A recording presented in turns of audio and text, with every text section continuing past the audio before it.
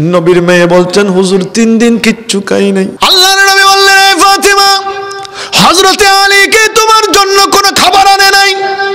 মা ফাতিমা বললেন, ইয়া রাসূলুল্লাহ, ইয়া হাবিবাল্লাহ, আজকে সকাল বেলাও হযরতে আলী খাবার এনেছে। ইয়া রাসূলুল্লাহ, হযরত আলী কিছু আটা এনেছে কিংবা ময়দা এনেছে। আমি রুটি বানিয়েছি, হুজুর, চারটা রুটি হয়েছে। একটা রুটি হজরতে আলীকে খাওয়ালাম একটা হাসানকে দিলাম, একটা হুসেনকে ইয়ার আর একটা রুটি ছিল। আমি ফাতেমা যখন রুটি খানা বসলাম খাওয়ার জন্য, হুজুর আমার ঘরের দরজায় এসে কে যেন ঠক ঠক করে আওয়াজ করেছে। আমি ঘরের দরজায় গেলাম, জিজ্ঞেস করলাম, বাইরে কে? বাইরে থেকে একজন বয়স্ক মহিলা ডাক দিলেন, ফাতেমা। আমি আপনার বাবা কামলেওয়ালা নবীজির একজন মহিলা উম্মতি সাহাবি। ফাতেমা, গতকালকে সারাদিন আমি কিচ্ছু খেতে পারি নাই। আপনার কথা মানুষের কাছে আমি অনেক শুনেছি। আপনার ঘর থেকে নাকি কেউ খালি হাতে যাই না। ও ফাতেমা, আমি আপনার ঘরের দরজায় এসেছি।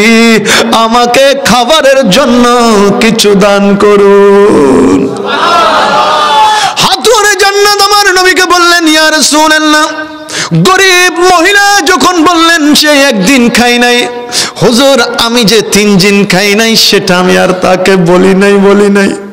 আমার ভাগের ওই রুটি খানা আমি আপনার গরিব মিসকিন ওই মহিলাকে দান করে দিলাম। গভীর মনোযোগ, আল্লাহর নবী কমলে নবী তরারে নবী দো জাহানের বাদশা নবী একদিন আল্লাহর নবী হযরতে খাতুনে জান্নাত মা ফাতেমার ঘরের সামনে দিয়ে হেঁটে যাচ্ছিলেন। আমার বাবারা ভাইরা, আজকের আমার মা বোনরা আমার আলোচনাগুলো শুনতে লাগলেন। আমার মা বোনদের উদ্দেশ্যে দুই তিন মিনিটের আমার একটা হাদিসের দিকে নজর দিলাম। আল্লাহর নবী খাতুন জান্নাতের ঘরের সামনে দিয়ে যাচ্ছিলেন।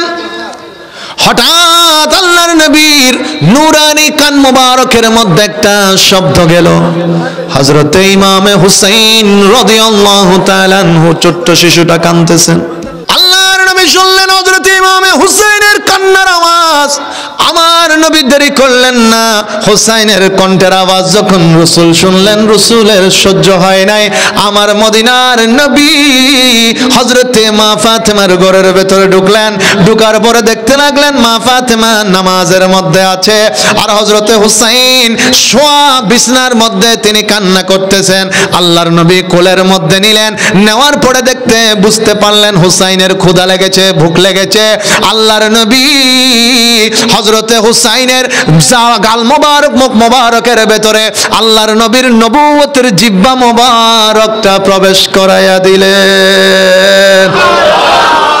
হজরতে ইমামে হুসাইন মুবারক চুষতে চুষতে তার চোখটা আবার বন্ধ হয়ে গেলেন, তিনি ঘুমাইয়ে গেলেন। ছোট বাচ্চারা যখন ঘুম ভেঙে যায়, আপনি যদি একটা আঙ্গুলো ঢুকাইয়ে দেন, চুষতে চুষতে ঘুমাইয়া পড়ে, ঠিক কিনা? আমার রসুল জিব্বা মুবারক ঢুকাইয়ে দিলেন। হজরত ইমামে হুসাইন চুষতে চুষতে ঘুমাইয়া গেলেন। আল্লাহর নবী হুসাইনকে শোয়াইয়া দিলেন। এবার আমার নবী হজরতে মা ফাতেমা যেখানে নামাজ আদায় করছিলেন, সেখানে আসলেন। নবী এসে দেখে, মা ফাতেমা সেজদার মধ্যে গিয়েছেন, তবে শরীরটা এত দুর্বল।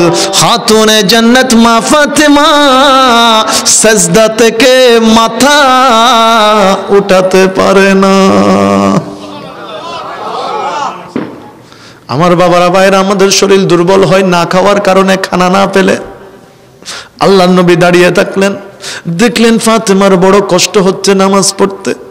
সেজদা থেকে উঠতে পারে না, এত দুর্বল শরীর। কিছুক্ষণ নবী দাঁড়িয়ে থাকলেন, খাতুনের জান্নাত নামাজ শেষ করলেন, আমার নবী ডাক দিলেন, ফাতেমা, তোমার শরীর এত দুর্বল, সেজদা থেকে তুমি মাথা উঠাতে পারো না। ও ফাতেমা, ঘরের মধ্যে কি তুমি কোনো খাবার খাও না?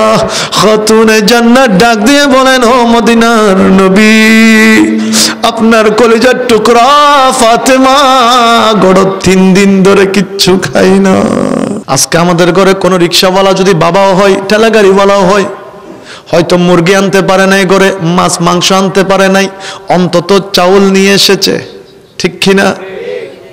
কোনো দামি খাবার না থাকুক, বরং অন্তত সাদা ভাত হলেও থাকে।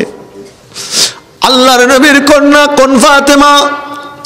হজরতে মা ফাতেমা, সারা দুনিয়ার জগতের মধ্যে সমস্ত মমিন মহিলা যারা জান্নাতে যাবে। আমার রসুল বলেছেন, আমার ফাতেমা, সমস্ত ওই মহিলাগুলার সর্দারিনী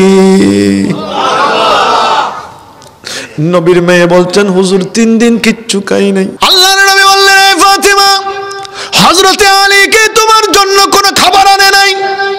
মা ফাতেমা বললেন, ইয়া রাসূলুল্লাহ, ইয়া হাবিবাল্লাহ, আজকে সকালবেলাও হজরতে আলী খাবার এনেছে। হজরত আলী কিছু আটা এনেছে কিংবা ময়দা এনেছে?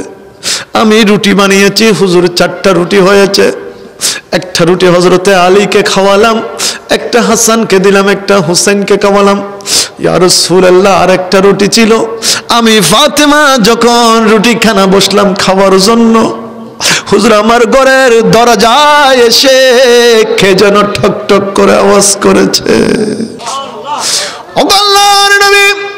আমি ঘরের দরজায় গেলাম, জিজ্ঞেস করলাম, বাইরে কে? বাইরে থেকে একজন বয়স্ক মহিলা ডাক দিলেন, ফাতেমা। আমি আপনার বাবা, কামলেওয়ালা নবীজির একজন মহিলা উম্মতি সাহাবি। ফাতেমা, গতকালকে সারাদিন আমি কিচ্ছু খেতে পারি নাই।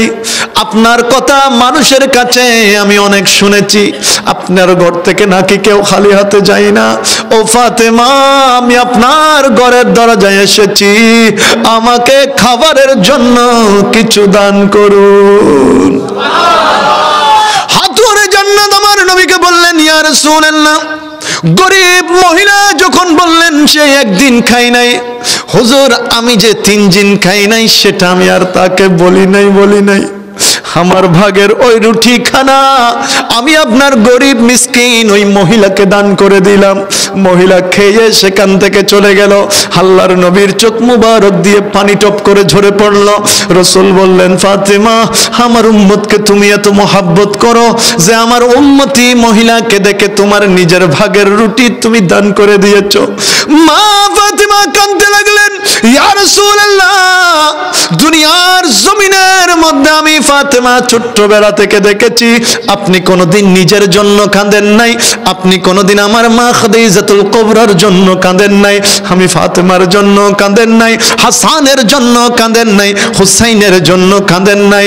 ও নবী, আমি গভীর রাতে নজর দিয়ে দেখেছি, আপনি জাইনামাজে দাঁড়িয়ে দাঁড়িয়ে উম্মতি উম্মতি বলে কেঁদেছে। আরও বড় করে বলেন না সুবাহান আল্লাহ আল্লাহর নবী ডাক দিয়ে বললেন, ফাতেমা, আমার উম্মতকে এত মহাব্বত করো, এত মহাব্বত?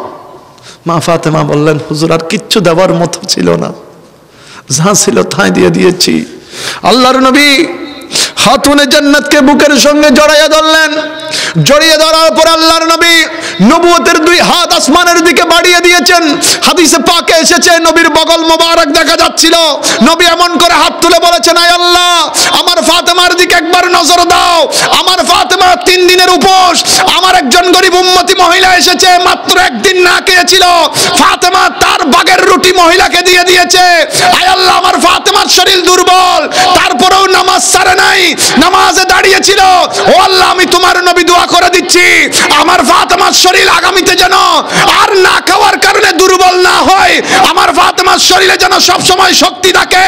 বা ফাতেমা বলতে লাগলেন নবী যেদিন দোয়া করে দিয়েছে, সেদিন থেকে আমি ফাতেমা যদি এক সপ্তাহ না খেয়ে থাকি, আমার কোনোদিন ক্ষুধা লাগে নাই, আমার শরীরের মধ্যে সবসময় শক্তি বিদ্যমান ছিল। বড় করে বলুন সুবাহ আল্লাহ